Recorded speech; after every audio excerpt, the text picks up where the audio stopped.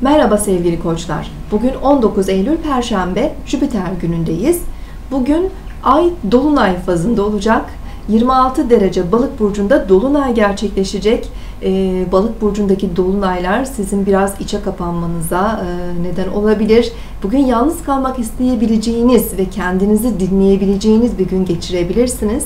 Ee, balık dolunayı ile birlikte belki hayatınızda bazı kavramlarda değişiklikler yapmak, size şu ana kadar yararı olmayan veya zararlı olduğunu düşündüğünüz e, bazı kavramları hayatınızdan çıkarmak isteyebilirsiniz. Özellikle bağımlılıklardan ve zararlı alışkanlıklardan kurtulmak için de e, balık dolunayını rahatlıkla kullanabilirsiniz sevgili koçlar.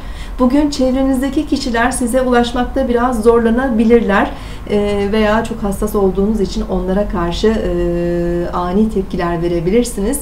Günü sakin geçirmeye çalışın, dinlenmeye çalışın. Bu şekilde duygusal enerjinizi de daha rahat dengeleyebilirsiniz.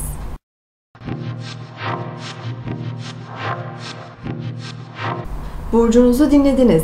Bugün 19 Eylül Perşembe, Jüpiter günündeyiz. Bugün 14-13'te Ay Balık burcunun 26 derecesinde Dolunay fazında olacak ve ardından boşluğa girecek. Dolunay gününde olduğumuz için duygusal hassaslık e, çok yüksek olabilir. Özellikle balık dolunaylarında bunu çok daha fazla hissedebiliriz. Daha alıngan, kırılgan, melankolik hissedebiliriz ve içe kapanabiliriz. Balık dolunaylarında e, evrenle bir olmak, kendimizi akışa bırakmak, hayatımızdaki bazı kavramları olduğu gibi kabullenmek veya bazı e, konuları da hayatımızdan çıkarmak, feda etmek gerekebilir.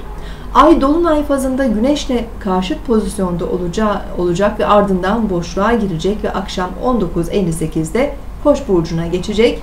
Akşam saatlerinde ayın Koç burcuna geçmesiyle birlikte e, biraz daha enerjimiz güçlenebilir ve daha sabırsız, girişken hissedebiliriz kendimizi. Bugün Venüs ve Satürn Akrep burcunda kavuşum halinde olacak ve kuzey düğümle de kavuşacak.